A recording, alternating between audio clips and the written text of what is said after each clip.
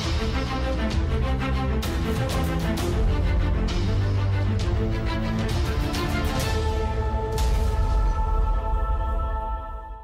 I have just come back from a tour around the world. I host masterminds and networking events for female founders, entrepreneurs who are passionate to build a business.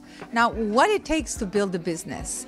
If you are listening to this message, maybe you are here for a reason because right now I want to share four steps that you can follow if you are just about to start your own business. The step number one is you definitely need to know what you're good at what is your passion? What is your drive? What is your why? If you haven't discovered your purpose, get out of the house and meet people and take risks and do whatever it takes to find that connections with your higher self. Once you find it, I mean, it's not just about finding what you're good at because let's say you're maybe you're good in maths but you don't like accounting anymore. So how can you use what you're good at in something that is driving you to enjoy it, to feel that is your flow, is something that you're meant to do in life. Once you have discovered that, you call it whatever. I usually call it your purpose. But in order to make it simple, just find what you're good at and connect it with your higher purpose, your higher self that drives you to an enjoyable journey. And once you have found that, then we move to step number two. And the step number two is find the people that you want to help. Who are the people that you feel that you stand for? You're so passionate to help them, to support them, to contribute, to make their life better.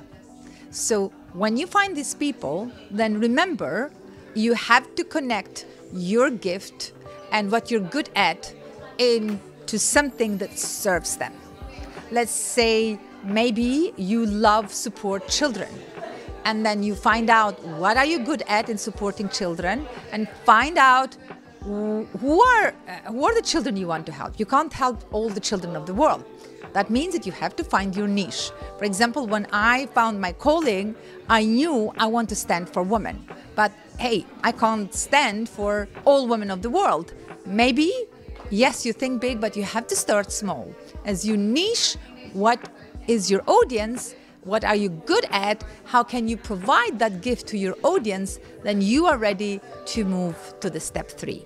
And the step three is about getting to know your audience so well so you know their problems, you know their uncertainties, their challenges, their issues, whatever they're going through, their anything that you feel that there is a gap in the market in that particular niche. And then you decide to go exactly for that because knowing your audience very well and knowing their problems and knowing what they're going through, then it will help you to come to the step four, which is yes, the step four is finding a solution. Now, yes, you're good at, you know what is your audience, you know what is their problem, and now you want to make sure that you are the one to help them.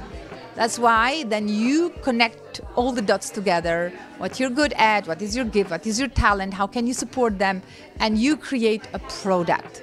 So that is your solution, where you create a service or something that goes back to them. And once you have uh, found out, let's say you have made a survey, you have asked them the questions, you have found out what is the biggest problem that they are going through right now, or what is something that maybe other people's other people haven't managed to find to provide to them, then it's your time to find just that little solution that they have been waiting for. Now, let me give you a bonus. One more thing. Let's call it step number five.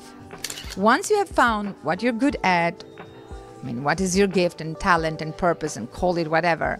And then you have found your audience and you have found their problem and you have found the solution. In order for you to have a business, you have to learn how to do sales.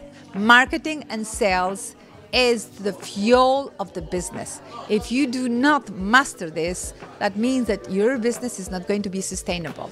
But you cannot master the step five unless you have learned first how to go through the four steps that I just shared with you.